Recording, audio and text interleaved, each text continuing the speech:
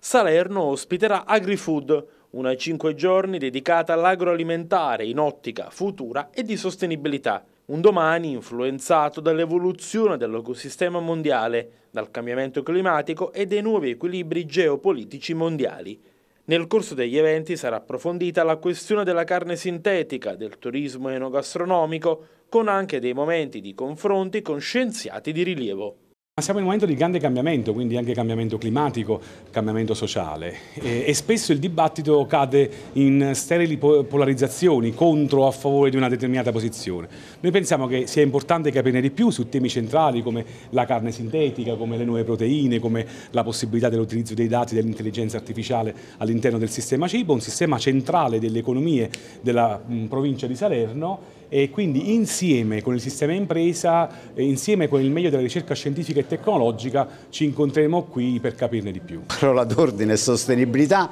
perché noi affrontiamo il tema dell'agroalimentare che è un tema uh, di natura mondiale come possiamo immaginare, il futuro dell'alimentazione preoccupa tutto il mondo, uh, noi dobbiamo partire? Sempre da un dato che la popolazione mondiale si è raddoppiata negli ultimi 50 anni, da 4 a 8 miliardi di persone il che vuol dire che il problema è, fondamentale. Sostenibilità legata all'alimentazione significa attenzione ai cambiamenti climatici, significa attenzione allo spreco dell'acqua, perché l'acqua è fondamentale per tutte le attività che riguardano la catena alimentare e, e tra l'altro la catena alimentare è quella che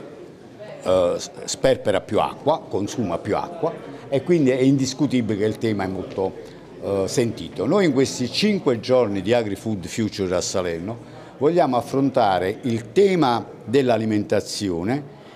diciamo, dal campo al consumatore, tenendo conto di tutte le variabili che oggi intercorrono, che non sono solo la sostenibilità, ma sono per esempio l'internazionalizzazione, sono l'innovazione, pensiamo a qual è, è il futuro del cibo, su questo tema avremo sicuramente degli interventi molto significativi, così come per esempio su quello che riguarda il futuro sotto l'aspetto dell'utilizzo dell'intelligenza artificiale,